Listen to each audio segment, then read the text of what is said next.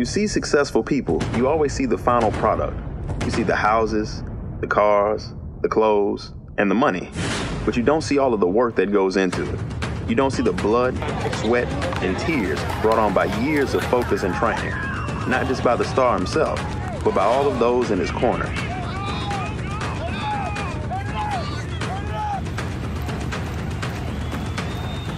Really, I guess kind of starting out from more the team perspective, what have y'all been pleased with? How, how have y'all done compared to maybe what y'all expected a few months ago? Uh, we just practice hard, you know, and coach Chris uh, and practice a lot and win the day. And we just win the day. And, um, you know, when it comes Friday, just execute.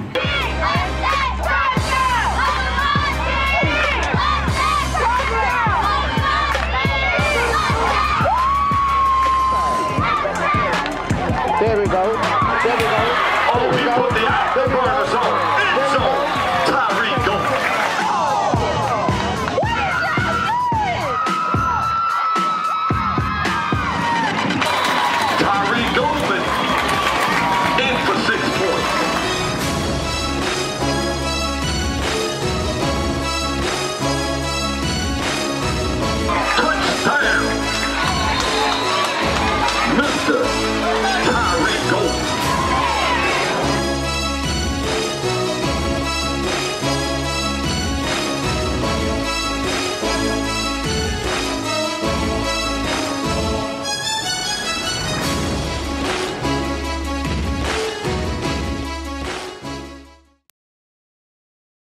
lot of young men and women grow up in single parent homes. Their one parent is forced to spend a lot more of their time working to provide for their kids than they do raising their kids. Tyre' Golmond is fortunate enough to have both of his parents as well as a gang of siblings. Every building needs a strong foundation. To make a difference, you gotta be different. You can't climb to the top without having something steady in your corner. For Tyre' Golmond Jr., that's his family. I'm Udrago Tyre' Golmond Sr. And things don't always work out the way you want it to, but God has a plan, and it's a good one too. Talent. A lot of people have it, but the people who become famous are the ones who utilize their gifts to create opportunities. Growing up in rough areas where crime is high and opportunities are low has led many gifted young men down a path that caused them to lose it all because of one bad decision. A night hanging with the wrong people can lead to a trip to prison, and all of those opportunities can be gone in the blink of an eye. But there are ways to prevent that. Tyree's father was a talented athlete, and he brought his skills back to the community where he began coaching the youth in his area, giving them outlets to keep them off of the streets and out of trouble. He imparts on them the same teachings he gives to his own kids, letting them know that a desire for success can propel them forward, not only in sports, but in any area they choose. You see him in the bleachers, rain or shine, supporting his kids however they need him to. Having grown up in a rough area himself, he knows firsthand how hard it can be. So Udrago seeks to provide every opportunity for his kids to avoid some of the trials and tribulations that he encountered during his younger days. Despite working to support his family and putting in time with his other children, he never misses a game because he knows that seeing him in the stands motivates his son to push through the pain toward the goals that he set for himself. I have Mr. Golmond with me right now. Mr. Golmond, I have a question for you. What is the biggest difference from you and your son when he was your when you were his age? Um, the biggest difference is uh, for his uh, the football size. I, I was a little bit thicker than him, and uh, and another difference is I had a bad lifestyle where I was out there in the streets, you know, doing things that wasn't appropriate, you know, uh, you know, like selling drugs and stuff like that. I'm not ashamed to, you know, say what I used to do with the drugs and stuff, but he not, you know, wasn't introduced to that type of stuff. And that's one of the biggest things, you know, he have, you know, uh, more support system. The entire family takes an active role supporting one another, not just with Tyree's football career, but by helping make sure they all have the skills that they need to be successful in all aspects of life. Um, I did a lot of things for uh, take them places, and actually, uh, I would say I love you, which I didn't hear, which I know my father loved me, but I didn't, you know, hear it all the time. But I mean, so that, that's one of the things. Uh, and is there anything that you would like to add about your son, Tyre'? I just, well, I would like to say that he's a uh, respectful gentleman and he's a uh, young stud, mm-hmm. and uh, I think he's uh, gonna go far, very far. You know, with with his attitude and and with his speed and the uh, vision, the mindset, and just the way he carried himself in life. I think he's gonna go far. We told ourselves we wasn't gonna stop. Like we were, we were gonna keep going. You know, keep the uh, intensity up and everything. So that's what we did. Golmond accounted for 329 yards rushing on 31 carries, adding touchdowns of 51, 61, and 71 yards to lead the Jackets to a 34 6 win over Central. The third one, what I remember, what I liked the most was I thought I was caught. Golmond's 329 rushing yards against Central is second most in a single game in Denham Springs school history. And if you think that's not impressive enough, remember he already broke the school's career rushing record earlier this season. It's really a blessing, honestly. I give it all to God because, you know, like I would have never seen myself in this position, you know, coming into my freshman year. But, you know, just give it to him.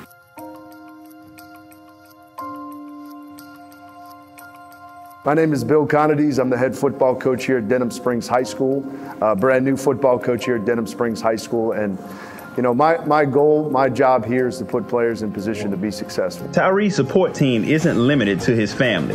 While they guide him on the proper path at home, on the field he has a coach who not only sees his potential, but has changed his entire game plan because of Tyree's strengths on the field. It is unlikely that a coach would do that for just anyone, but Tyree's humble nature and willingness to accept criticism and instruction makes him a person that is easy to work with and a good role model for his younger siblings. You know, this is a kid who started since his freshman year. My plan is to utilize him in a number of different positions. Uh, catching the football out of the backfield, lining up at wide receiver, catching screens, running the football, jet sweeps, you name it. Uh, it's my job, it's my goal as a play caller to put him in position to be successful and to get uh, the most out of him and not necessarily banging him in between the tackles. And, you know, he's 5'7". I don't necessarily want him getting hit. But uh, so, you know, my job as a play caller is to put him in space. While Tyree's dad spends his time helping his kids, his wife is playing just as important of a role. She puts in as much work as her spouse, but she doesn't do it just for her own kids. She knows that a lot of the kids on the field with her son don't have parents there to encourage them when they fail or praise them when they succeed.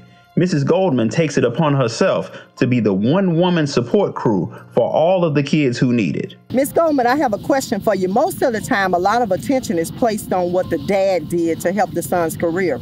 You know, I noticed that you are real supportive of your kids. What can you say that Tyre' received from you? This is funny because I uh, I listened to everybody speak about the talent that he got from his dad and everything that he's gotten from his dad. Um, for one, he's a very humble person. I take pride in knowing that he gets that from me, oh, um, and just the way he handles his, you know, himself or whatever. I stay on him and you know, I like to think that I contributed some of that to him. And you know, we always hear stories about single parents with kids playing sports, but in your household, there are both parents. So did you find yourself being the support team for the kids in your community that do not have what Tyre' family have? I have and I do. Um, there's, you know, kids that came up with Tyre', that played on the team with Tyre'. Their mothers were not there. Um, I would transport some of them to the games. Um, and sometimes, like when the parents not there, uh, things happen. Um, so I would find myself standing up for them and, you know, acting as that mother for them. And a lot of them now are playing ball with Tyre'. Okay. And when they see me, they hug me, and you know, and I, you know, when I see one that is doing great, I smile, I yell, I cheer for them as if they're mine. Wildcats have elected to receive and will be defending the south end zone Your Yellow Jackets will be kicking off. The support of his family and the guidance of his coach have led Tyre' to plenty of success and recognition. Yellow Jacket fans, it's football time on Friday night. His hard work on the field is paying off, leading Tyre' to multiple full scholarship offers from multiple universities. He has been interviewed by local news outlets on many occasions and has even been chosen multiple times as Sportsline's Player of the Week. It's time to name our first Sportsline Player of the Week tonight. Lots of very deserving nominees, but WAFB's Johnny Lombardi has the story of a very familiar senior who's been here before. Fast starts are nothing new for Denham Springs senior running back Tyre' Golmond. Flashback to last year, Denham's first game after the flood. Golmond scoring four first quarter touchdowns in the Jackets' season opening win against Tara, with a Player of the Week nomination and award to go with it. Fast forward to last Friday. Golmond once again leading the way in Denham's opener, finding the end zone six times in the Jackets' 45 10 win over Hammond, including scoring on the game's opening kickoff. It was kind of short, so I let it bounce. And, you know, I took it, and it was great blocking up front. That's what set up the whole play. You know, I just seen it and hit it starting off, I didn't think they was gonna kick it to me. And when they did, I had to make the best of it. I have some twins with me right now. Tell me your name. I know that you're a gold member. What's your name? John. And Sean. And John and Sean. Okay, I want to ask you a question about your brother. When you see your brother playing and all the attention is on him, what do you feel? What do you think about? Like I want like the whole stands, e- even the other team to know that um he my brother and stuff like that. So I just go run down and then and then people start pointing and stuff. Mm-hmm. So you let them know that's my brother. That's my brother right there. So I know that y'all play football as well. So what uh, that does that motivate you to be better, to practice harder? It makes me want to like. It makes me want to like be better than him. Uh huh. Like so, he be like, um, I'm not gonna say I'm better than y'all because y'all good too. Like he be humbling himself. Good. He be trying to be humble. That's good. Denham's new head coach Bill Conides, known for his high-flying pass-centered offense, realizes the special weapon that he has on the ground. I knew that he was a dynamic football player, and I was going to have to give him the rock. So even if it's th- throwing him the ball on a five-yard dunk or, or whatever it may be, he's going to get the rock. You know, I'm not that hard-headed. I like to throw the football, but uh, he's such a good player. He's got to have the ball in his hands. And if winning wasn't enough, Golmond had extra inspiration dedicating his performance to his five year old cousin Treasure, who passed away in a Baton Rouge apartment fire. My little cousin, she passed away in a, a fire, a house fire, a while back. And before the game, I said this game was for her. And you know, I scored six touchdowns, so it, it was special. It was a special game for me. The way I found out, it just it really hit me hard. So I, I, I'm dedicating the game, every game, to one of my you know loved ones that I lost. Tyre', it is an honor for me to be interviewing you right now. You know, and I noticed in your other interviews that you speak highly of your father. Uh, let's go to game day. How do you feel knowing that your dad is in the stands watching you? It's great, honestly, because I know I got somebody that I look up to watching me, and you know they can tell me what he sees on the field. Like if I don't see it, you know, it's it's really great, honestly. Right, good, good. And what, um, with your dad not being able to use his scholarship, did that motivate you to work harder to reach your goals? It really did. Like just knowing that he had the opportunity, and now like I'm one step behind him. Like I'm, I'm in his footsteps, just going another path. It really motivated me because like I could do it for him, you know, and make him proud. And uh, did you feel any added pressure because of your dad's situation? Just a little bit. Like at first, during the process, just a little bit, but now it's just it's going along, it's flowing. All right. And I see that you have younger brothers that play football as well. What advice, if any, are you giving to them? You know, just you be humble at an early age. Like at a young age, when you do something, you know, let somebody else talk for you, you know, and let other people talk highly of you. Right. Don't toot your own horn, huh? Okay, I see your family have a strong religious background. How do you use your faith to help you in school, on the field, and in life in general? I some game days, my dad he'll send me a scripture. He do it every day, but like on game days, I look at, I go back and look at the stuff he sent me, and I just look at it and I'm like, man, this could relate to this, and it could relate to that. So I just use it in school situations and life situations. Yeah, okay. And do you have a special school that you want to play for? I mean, I really like the Memphis Tigers. Like that's one of my tops right now, and just because they got a nice program out there and they doing big things. Okay, okay. And if you had to talk to other kids that's looking at you and saying, "I want to be just like him," what would you? What advice would you give them? Listen to everything your parents say because it's, it's right. Honestly, listen to everything they say. It's good because they'll teach you. They've been through it before, and they'll Right. teach you. Seeing the Golmonds in action is about far more than football. They show what can be done with a supporting family in your corner. When you have people with you who are ready to catch you when you fall and point you in the right direction, no matter what obstacles may come your way, you won't have a choice but to succeed.